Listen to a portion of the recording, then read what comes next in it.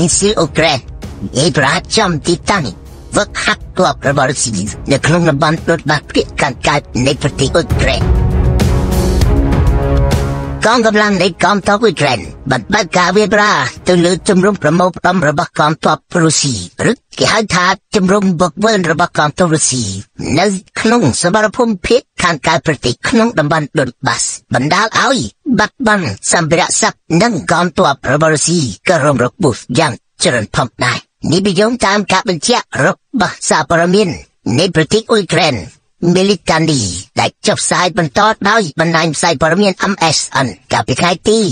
27សីហាវិរសនាធំលេខ54នៃកងទ័ពអ៊ុយក្រែនបានបញ្ជាក់ពីការវេប្រហារដល់ក្រុមមីស៊ីលនោះទៅលើជំរំ ប្រមូលផ្ដុំរបស់កងទ័ពរុស្ស៊ីនៅក្នុងខេត្តលូហ្គានក្នុងតំបន់ដុនបាសពីខាងកើតប្រទេសហើយបានបញ្ចេញវីដេអូឃ្លីបនៃការវេប្រហារនោះទៀតផងយោងតាមប្រព័ន្ធ ផ្សព្វផ្សាយរបស់ប្រទេសអ៊ុយក្រែនការវាយប្រហារនេះប្រព្រឹត្តទៅដោយប្រព័ន្ធរ៉ុកែត GMLRS ហើយសហការជាមួយនឹង drone សការរបស់អ៊ុយក្រែនប្រព័ន្ធរ៉ុកែត GMLRS ត្រូវបានដោយកម្មថាវាបានបញ្ចាំជំរុំរបស់តរុស្ស៊ីនៅក្នុងតំបន់ដបាសលោកក៏ជាមួយគ្នានេះក៏បញ្ចាំរថយន្តយោធារបស់រុស្ស៊ីផងដែរបើតាមសេចក្តីរាយការណ៍ដដែលនេះមីស៊ីលរបស់អ៊ុយក្រែនយ៉ាងតែចំនួន2គ្រាប់បានបាញ់ចាំជំរុំប្រមូលផ្ដុំរបស់កងទ័ពរុស្ស៊ីដុនបាសគឺជាសមរភូមិដ៏ក្តៅគគុកបំផុតចាប់តាំងពីរុស្ស៊ី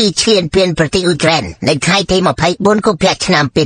2022សមរភូមិនៅភាគខាងកើតនេះលោកឡាឌីវីពូទីនដាក់ផែនការវាយកឲ្យបានពីដៃរបស់កងទ័ពអ៊ុយក្រែនតាំងពីចុងឆ្នាំ2022ប៉ុន្តែរុស្ស៊ីមិនទាន់បានសម្រេចនៅគោលដៅរបស់ខ្លួនដូចទីប្រធានាធិបតីរុស្ស៊ីវ្លាឌីមៀពូទីនសម្លឹងឃើញនៃការចាប់យកប្រមាណរត់បាសនេះពីដៃអ៊ុយក្រែនដែលធ្វើឲ្យគេគិតថាលោកវ្លាឌីមៀពូទីនបរិបខ្លាំងបំផុតនៅវិវេក្រាំឡាំងនេះអាចនឹងបិទបញ្ចប់សង្គ្រាមឈានពានប្រទេសអ៊ុយក្រែនតែផ្ទុយទៅវិញសង្គ្រាមមកដល់ពេលវាជោគដល់2ឆ្នាំជាង6ខែហើយកងទ័ពរុស្ស៊ី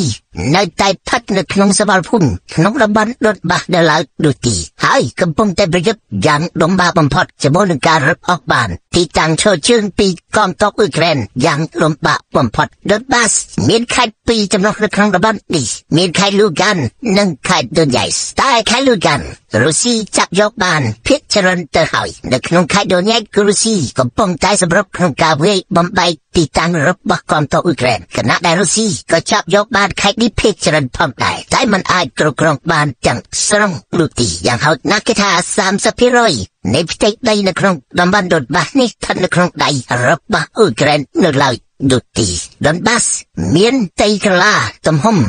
53000គីឡូម៉ែត្រក្រឡាវាធ្លាក់ក្នុងសង្គ្រាមចាស់តាំងពីឆ្នាំ2014មកលុះដែលរុស្ស៊ីបង្កើតកម្លាំងឧទាមរបស់ខ្លួនដើម្បីទាមទារបំបែកដែនដីតំបន់ដបាស នេះធ្វើជាតំបន់អភិគមហើយចំណងឲ្យទីក្រុងមូស្គូធ្វើឲ្យដូចនឹងជ្រុយអបទ្រីគ្រីមៀដែលរុស្ស៊ីយកបានពីដៃរបស់អ៊ុយក្រែនដោយមិនបាច់បញ្ចេញក្របកំភ្លើងមួយក្របនោះកាលពីឆ្នាំ2014ក្រៅពីសមរភូមិតំបន់នេះគឺសមរភូមិនៅតំបន់ភាគខាងត្បូងប្រទេសនៃតំបន់សាប៉ូរីស៊ីយ៉ាតំបន់ខឺសិននៅតែកំពុងប្រយុទ្ធគ្នាយ៉ាងខ្លាំងនៅឡើយនេះទីប៉ុន្តែតំបន់ភាគខាងត្បូងនេះអ៊ុយក្រែនវាយកបានពីរុស្ស៊ីវិញ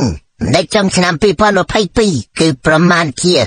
70%នៃផ្ទៃដីទាំងស្រុងបច្ចុប្បន្ននេះនៅពេលនេះរុស្ស៊ីបានប្រតិបត្តិការលើទីតាំង វាប្រហារលើទឹកដីនៃប្រទេសអ៊ុយក្រែនបើលិតថន្តិវាស្មើនឹងជាង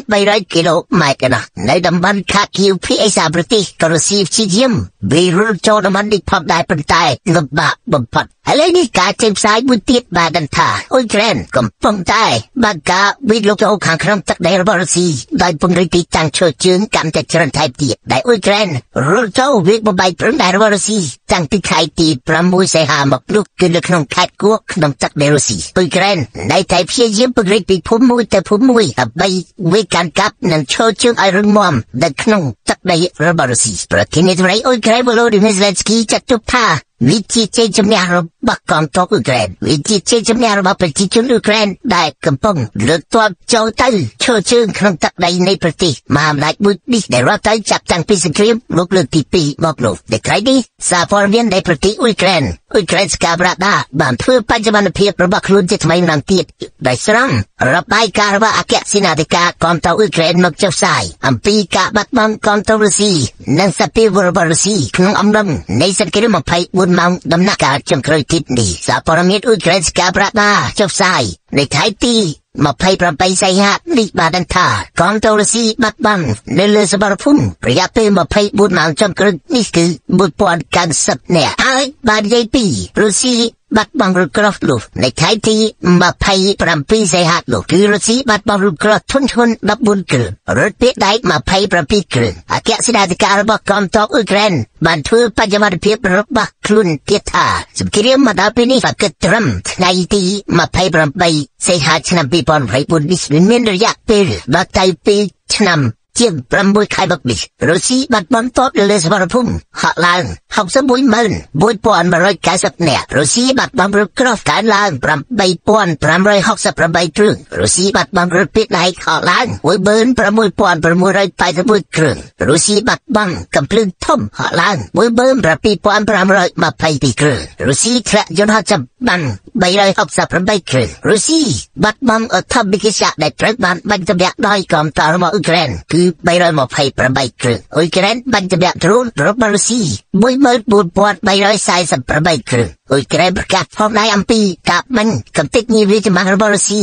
28គ្រឿងហើយនាវាមួយទឹករបស់ប្រទេសមហាអំណាចនេះគឺ1គ្រឿងប៉ុន្តែសូមជម្រាបថាតួលេខដែលចេញផ្សាយដោយសារព័ត៌មានរបស់អ៊ុយក្រែនអ៊ុយក្រែនស្កាប្រដាឌីសគឺសារព័ត៌មាននេះបានបានធ្វើការផ្ទៀងផ្ទាត់ជាមួយនឹងក្រសួងការពារជាតិរុស្ស៊ី នោះទីរុស្ស៊ីកម្រចុះផ្សាយអំពីការបាត់បង់កងទ័ពអ៊ុយក្រែនក្នុងមួយថ្ងៃមួយថ្ងៃដោយក្រសួងការពារជាតិអ៊ុយក្រែននោះទីតែរុស្ស៊ីក៏ធ្លាប់អះអាងថាអ៊ុយក្រែនបាត់បង់ទ័ពក៏ហាក់ឡើងប្រមាណជា40ម៉ឺននាក់អាវុធធុនធ្ងន់រថពាក្យដៃរក្រោះនិងកំពឹលធំអ៊ុយក្រែនបាត់បង់ដល់ទៅ30000គ្រឿងដែលធ្លាក់យន្តហោះគឺអ៊ុយក្រែនធ្លាក់យន្តហោះក្នុងសមរភូមិដល់ទៅ500គ្រឿង